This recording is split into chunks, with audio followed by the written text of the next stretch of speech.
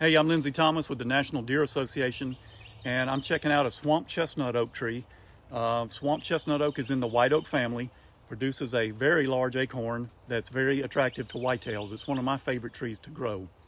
Of course, as deer hunters, we all know deer love acorns, and so over the years, many people have tried to figure out a way to make oak trees produce more or more attractive acorns for deer. One of the beliefs that has arisen is that you can fertilize oak trees and that will do the trick. But nobody had really tested that question to see if it was true until a few years ago when the University of Tennessee began a multi-year study. Dr. Craig Harper and several of his graduate students over the years looked at a group of white oaks and they tried several different techniques to get them to produce more acorns. In their study, they had four different groups they put oaks in.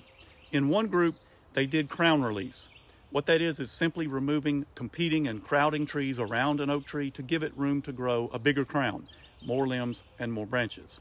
A second group they fertilized to a soil test like you would do with a food plot. A third group, they did crown release and fertilizer. And then a fourth group was their control. These were oak trees that were not manipulated or changed in any way just to see how they did in comparison. The results of the study were clear. In the crown release group, those oak trees grew bigger crowns by about 25% greater in size, and acorn production increased 50 to 65% in those trees. In the trees that were only fertilized, there was 0% increase in acorn production.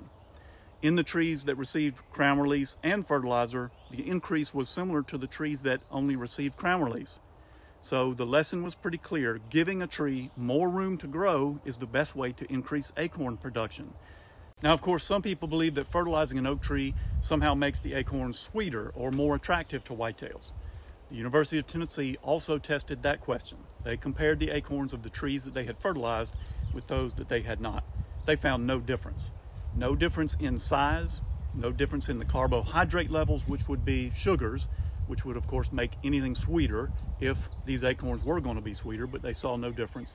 No difference in protein levels, fat levels, mineral content, several different aspects that they measured and compared. No difference. Fertilizing did not change the size, the quantity, or the quality of acorns in this study. So the lesson is pretty clear.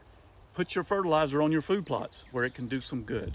And instead, with your oak trees, give them room to grow. Simply give them room to expand their crown size, grow more limbs and more branches, and you'll get greater acorn production.